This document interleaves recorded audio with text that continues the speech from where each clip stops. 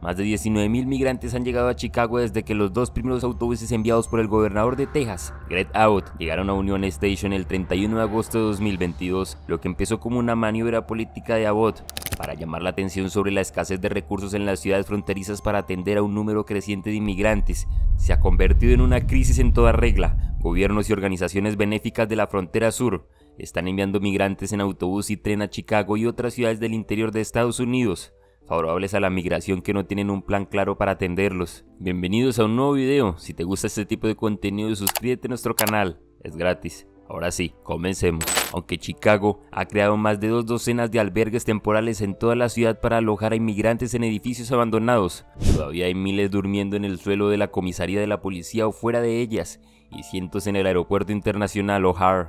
Los inmigrantes la mayoría procedentes de Venezuela no suelen tener familia ni contactos allí, y muchos vienen con poco o nada. Las oficinas municipales y estatales que ofrecen servicios sociales están desbordadas. Los expertos dicen que no hay paralelismos con el programa de autobuses de Abbott en los últimos años. Según su informe del 9 de octubre de 2023 de la oficina de Abbott, este ha enviado a más de 13.500 inmigrantes a Chicago en autobuses charter desde agosto de 2022 como parte de su iniciativa de seguridad fronteriza Operación Estrella Solitaria. Y aunque el transporte en autobús le ha costado a millones de dólares, está cambiando la conversación nacional sobre inmigración, ya que gobiernos que nunca han tenido que lidiar con la atención de la migración masiva se ven ahora obligados a enfrentarse a migrantes que se congregan en parques públicos, mendigan en las entradas de los supermercados y merodean en las esquinas. El resultado es una petición más universal de la organización y ayuda a nivel federal tanto desde el interior como desde las ciudades fronterizas. Minal Giri, presidenta de la Iniciativa para la Salud Infantil de los Inmigrantes de la sección de Illinois de la Academia Americana de Pediatría, dijo que la gente huye del mal y se adentra en la jungla, lo que tendrá consecuencias duraderas en su salud mental y física. Muchos de los inmigrantes que llegan a Chicago son familias con niños. Los niños son los que más sufren porque no pueden defenderse por sí mismos.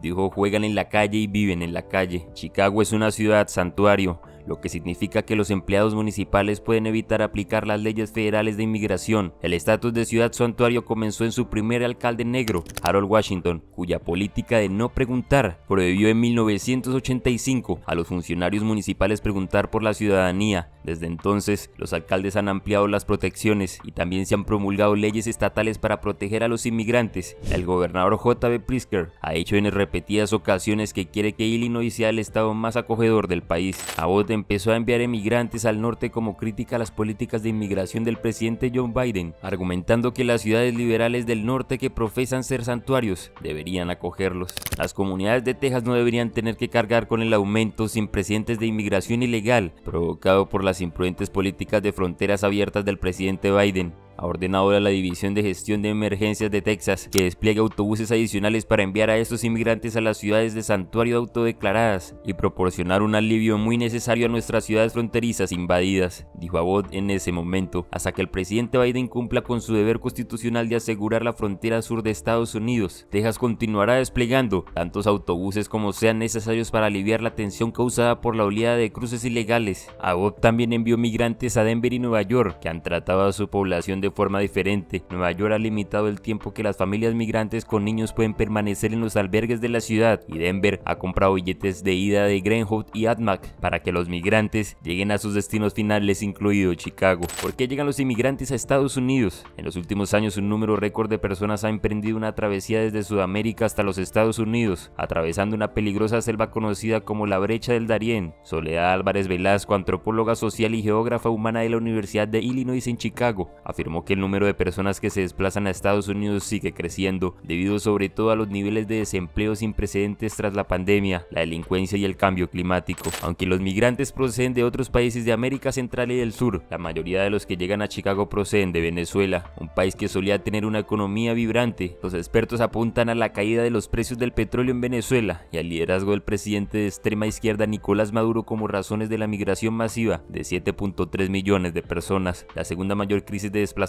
interno del mundo, después de que Maduro asumiera el cargo en 2013 y de que la economía de Venezuela decayera bruscamente poco después, los ciudadanos se volvieron más dependientes de la asistencia social del gobierno, como los repartos mensuales de alimentos. Los migrantes que han llegado a Chicago dicen que no podían ganar más de 25 dólares a la semana en su país de origen.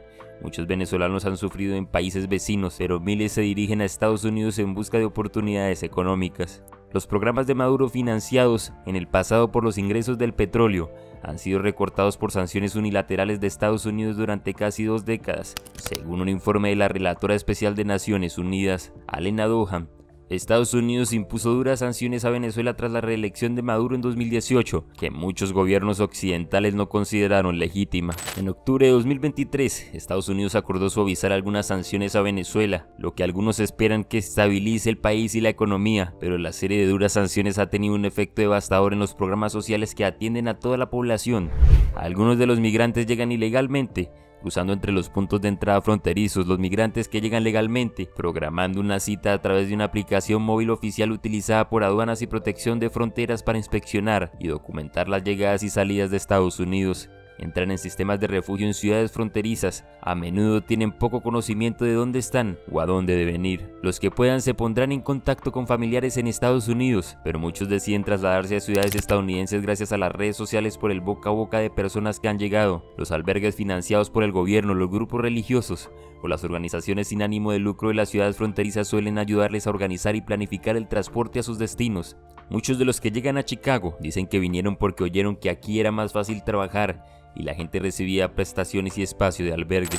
Los inmigrantes no solo llegan a Chicago en autobuses fletados, también están siendo enviados con billetes patrocinados desde Denver y aviones de caridades católicas de San Antonio, mientras que algunos llegan a la ciudad tras poner en común sus propios recursos, al oír que Chicago es más acogedora que otras ciudades. El alcalde Brandon Johnson Tomó posesión de su cargo en mayo de 2023 y heredó un sistema de refugios improvisado que estaba a punto de experimentar otra oleada. La ciudad se enfrentaba a otro gran aumento de inmigrantes, muchos de los cuales permanecían en comisarías de policía a la espera de ser alojados. Aunque los migrantes han llegado en oleadas durante el primer año, el número de migrantes ha aumentado sustancialmente en Chicago a lo largo de 2023, con el gobernador Abbott amenazando con enviar de 20 a 25 autobuses al día en octubre de 2023 y nuevos refugios apareciendo por toda la ciudad casi semanalmente. La administración de Johnson prorrogó inmediatamente el contrato de la ciudad con el proveedor Fowler Staffing. Una reciente investigación del Tribune sobre la empresa reveló su alto precio y el exceso de trabajo del personal, y la administración actual dijo que esperaba alejarse del costoso contrato y contratar localmente, pero el 23 de octubre de 2023 la administración de Johnson renovó el controvertido contrato y firmó una extensión de 40 millones de dólares hasta octubre de 2024. La ciudad calculaba que los costes asociados a los migrantes desde agosto de 2022 podrían superar los 360 millones de dólares a finales del 2023. Mientras tanto, las redes de ayuda mutua han invertido para ayudar a alimentar, vestir y proporcionar recursos a los migrantes alojados en comisarías. Los grupos religiosos también están poniendo en común sus recursos, pero actualmente no se permite la entrada de voluntarios en los albergues municipales. El presupuesto que dispuso Johnson para este 2024 incluye solo 150 millones de dólares en fondos para inmigrantes, menos de la mitad de lo que probablemente se habrá gastado en asistencia a inmigrantes el año pasado. Y con los meses más fríos que se avecinan, el alcalde sigue adelante con sus planes de instalar campamentos de base invernales por toda la ciudad, en virtud de un contrato de casi 30 millones de dólares. A finales de septiembre de 2023, en respuesta a las presiones de funcionarios de Chicago y otros lugares, el gobierno de Biden permitió que casi 500.000 venezolanos pudieran solicitar permisos de trabajo temporales, que en teoría ayudarán a los migrantes a ser autosuficientes y salir de los refugios.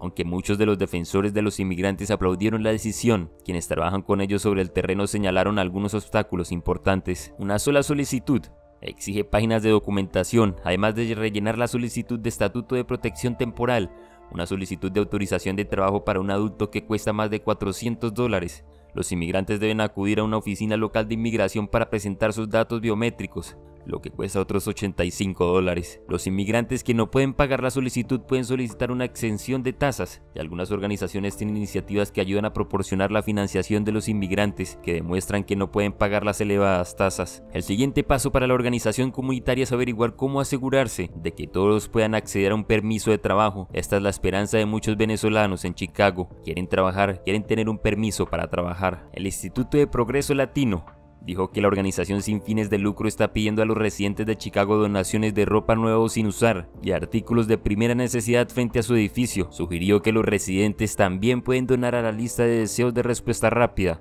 en Amazon o en su sitio web. Para proporcionar ayuda y comida en los refugios, la gente también puede donar en su banco de alimentos. En el sitio web de la ciudad figuran varias organizaciones de ayuda mutua para quienes desean participar más directamente en las labores de voluntariado. Con esto llegamos al final de este video. Cuéntanos tu opinión en la cajita de los comentarios. Si te ha gustado el video dale like, suscríbete y no te olvides de darle a la campanita para que no te pierdas de próximos videos como este. Hasta la próxima.